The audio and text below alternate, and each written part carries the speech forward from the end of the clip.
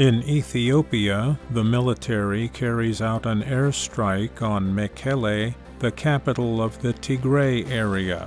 The government said it targeted a weapons factory. In Syria, two bombs explode near a bus carrying troops in Damascus, killing 14. In Hong Kong, the mother of a pregnant Hong Kong woman killed in Taiwan in 2018 demands government officials work with Taiwanese officials to bring the suspect to trial.